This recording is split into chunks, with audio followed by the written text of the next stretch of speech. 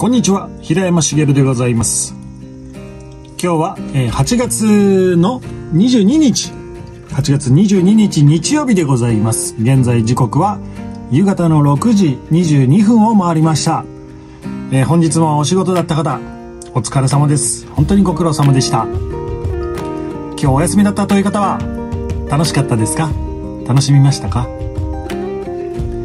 ー、いつもですね皆様の、えー、貴重な貴重なお時間を使ってですねこの動画を見ていただいているということに本当に感謝申し上げます。いつもありがとうございます。あまりね皆様の貴重なお時間を使うわけにはいかないということで今日今日はちょっと短めにお送りしますけれども。えー、明日またね月曜日新しい週が始まります。明日からまた一生懸命一緒に頑張っていきましょう。大丈夫ですから。大丈夫ですからね。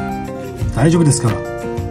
大丈夫ですから。はい。なんといっても明日はねロト6ありますから。ロト6楽しみにしててください。もし高額当選したら本当にあなたにいいことがあるはずなんです。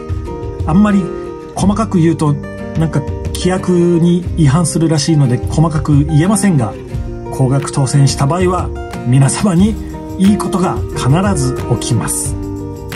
なので明日を明日という月曜日をね楽しみにしてください。